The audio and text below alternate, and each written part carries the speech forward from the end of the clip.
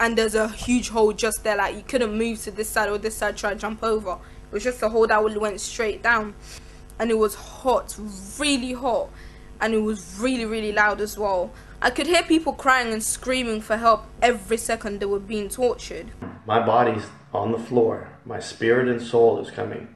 I went to a place that had a drop off point, and these big black gates started opening up. All I could see is from what I could see with my eyes, and as far as I couldn't see no more. It was like an ocean of people screaming and crying. And all I could hear is, Get me out of here, please. Please get me out of here. And I find myself in this big, big, dark place. There's fire and there's screaming, there's shouting, and people saying that, Let me out.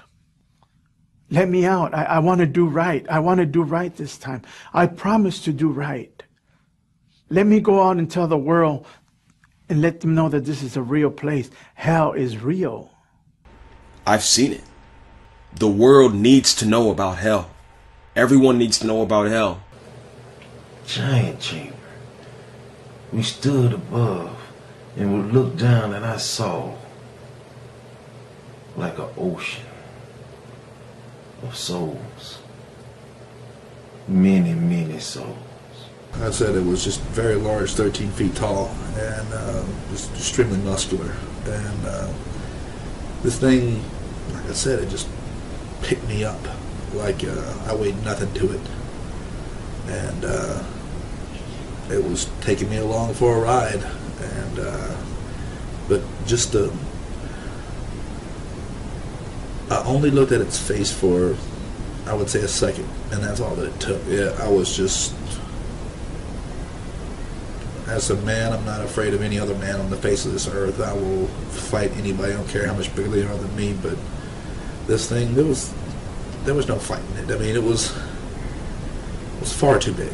I mean, 13 feet tall versus six feet tall. I could stack another one of me on top of my head and still not be as tall as it. And suddenly I was pulled out of my body, like being sucked out of your body. And I found myself falling through the air, and I landed in this actual prison cell in hell. And uh, there were these demonic creatures in this cell. What were they like? Reptilish in appearance, bumps and scales all over their bodies. Yeah. Uh, these particular two were about 12 or 13 feet tall. But the one picked me up, threw me into the wall, tremendous strength. I collapsed on the floor. I felt bones broken. The other one dug his claws into my chest, tore the flesh open. You have a body in hell, but it can withstand this torment. I was in this big old cavern. Her entire body, from head to toe, she had her clothes on and everything. She was covered in fire. Fire that could not be put out. Jesus mentioned three times in a row, I believe it was, in the Bible.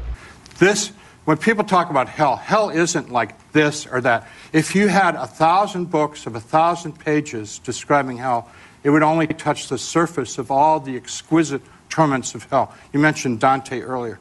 That it's but a tiny glimpse of what hell is. You know, people say, well, in your experience, you were in darkness and torment and stuff like that. And I said, yeah, that's an aspect of hell. There's, a, there's for every type of alienation from God, for every type of hatred of God, for every type of rejection of God, um, in whatever form that takes, there's a hell Wow. for that. I started to fall down in something like a dark, dark pit. And uh, I knew with my spirit uh, that I was falling into the bottomless pit of hell. As my soul left my body, I began traveling faster than the speed of light. And I began falling and falling and falling. And all of a sudden, this explosion happened on the inside of me. It was as if there was like a sul- sulfuric type acid burn that consumed me in every way. It was so hideous and terrifying. There are no words to describe the level of pain and the type of burn that I was experiencing. What was it? It was hell, Pat. It was The what the Bible describes as hell. It was the fire of hell. And I looked, and there were people. They were lined up side by side as far as you could see. As far as I could see back, and as far as I could see to the left, and as far as I could see to the right, they were lined up side by side. And they had their hands up and their mouths open. They were screaming, but I couldn't hear them. They were screaming in terror, but I couldn't hear them, but I could see them. And then I looked, the flames came up to about almost to their waist. But you know how fire goes up, like they say, the fire licks. The, the, the, the fire was going up chest high, and their skin was melting. But it didn't come off, it bubbled, their skin bubbled. It's like, um, you've seen things that bubble. Mm-hmm. This, their skin was bubbling. It was boiling, it was bubbling, but it didn't fall off. And the people were screaming. And so we get into complete darkness. I'm absolutely terrified. Because people are very hostile. I don't know where I am. I said, I'm not going to go with you any further. They said, um, You're almost there. And we started to fight. I, just, I was trying to get away from them. They were pushing and pulling at me. And um, there are now a lot of them. What originally had been like a handful now was, since it was darkness, hundreds or thousands. I don't. I mean, I have no idea. And they're playing with me. You know, clearly they could have just destroyed me if they wanted to. They didn't want to destroy me. What they wanted to do was they wanted to inflict pain on me. And as he was talking to me, it it appeared like the ambulance literally exploded in flames.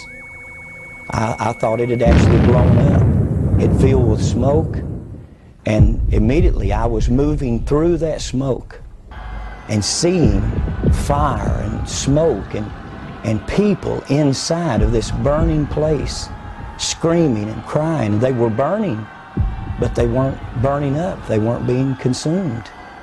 And then the sensation of moving downward into this. But, but the most terrible part of it, I began to recognize many of the people that I was seeing in these flames. As if a close-up lens on a camera was bringing their faces close to me, I could, I could see their features and see the agony and the pain and the frustration. And a number of them began to call my name and said, Ronnie, don't come to this place. There's no way out. There's no escape. If you come here, there's no way out. Um, it is an experience that will that literally changed my life.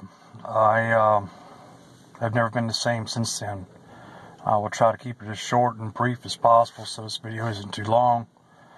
But it's something I think that everyone needs to know about. Um, on July 20th, 2009, I died from a massive coronary and went straight to hell. Uh, uh, I freaked out. I, I, uh, I had this demon slither around me, around my shoulders, real, real reptilious looking, um, tentacle type hair, millions of teeth, got right in my face and said, I got you now. To understand, as I said to you earlier, man is a spirit, has a soul, and lives in a body. The spirit in me that lives eternally in God's image, the inner man, came out. And instantly I was surrounded by darkness. All around me was darkness. It was pitch black and it was musty. And I remember just being so confused. My body felt the same. Everything felt the same. And instantly I began to roll down. I was just going down, down, down, down, down at the speed of like someone had pushed me down a hill. That kind of uncontrollable movement. And as I've rolled, rolled, rolled, rolled, rolled, the ground beneath me has opened and I've landed in scorching flames of fire. Beneath me is black flames, red flames, just fire, burning brimstone and flames. And instantly as I've landed in, I've, the first feeling was drowning. I was starting to drown in flames of fire. Suffocation. It meant suffocation on the throat. No ability to breathe at all. Instantly my mind went to the rich man. For the Bible says that there was a rich man who died and being tormented in flames, looked up at Lazarus and get me a drop of water for I am tormented by this flame. The rich man is still begging for that drop of water today.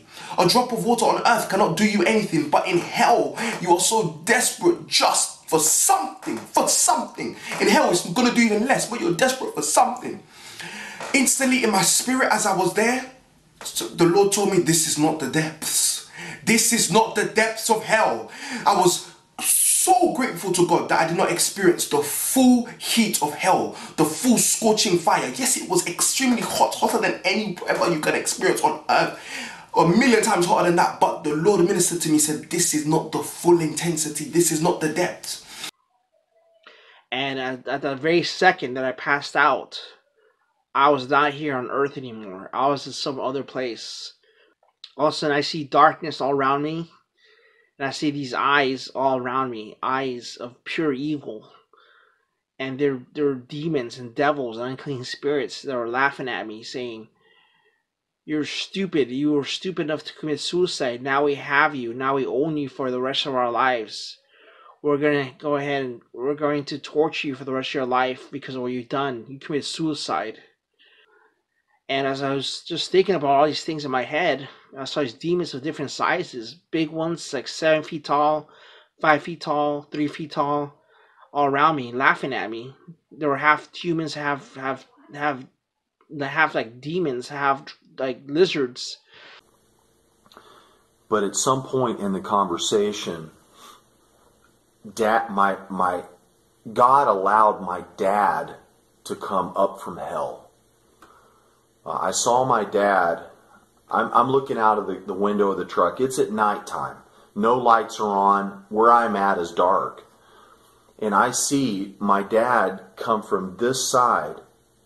He was escorted by at least three demons. They were all black. I couldn't make any distinctive features out on them at all. They were just black take my dad out of there. I didn't want my dad to go back there. And I was sitting there trying to ask God, well, can you do this? Can you annihilate him? Can you make him as if he never existed? I mean, can you put him on a. You know, he said he, he couldn't do that. Uh, or he wouldn't do that. But I said, well, can you put him on another planet? Uh, just by himself. I mean, I was sitting there trying to plead with God not to send him back to this place. And uh, my dad didn't belong to, to God anymore. He didn't belong. He belonged to the devil. And it's and at the very end of the conversation, at some point, I don't know why, my dad said, uh, "I'm proud of you." He looked at me and he said that. He said, "I'm proud of you." And uh, as soon as he said that, the demons that were standing there, they suddenly reappeared from over here and they grabbed my dad and they began to whip up on him like nobody's business. I mean, they were they were thrashing him good. I mean, all I could hear was uh, uh, uh, just they were ripping him apart. It was it was terrible. and he I, I, I looked as they were doing it and but they were moving back out of the out of the natural eye. So they disappeared but i could even after they disappeared i could still hear it a little bit. And uh, they were just they were hurting him really bad. If you're watching this it's not too late. Say this prayer now. Father in heaven Please save my soul by the work of your Son Jesus on the cross, and show me your pure words in the authorized King James Bible.